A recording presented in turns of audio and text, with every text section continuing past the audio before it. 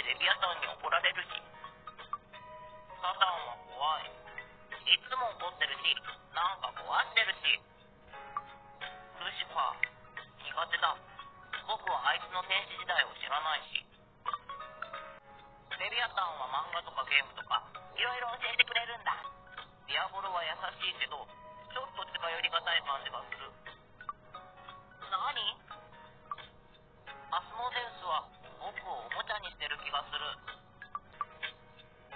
部は面倒見がいいんだ。時々展開のお菓子を作ってあげてる。ベルヘゴールに甘えん坊キャラがかぶってるって言われた。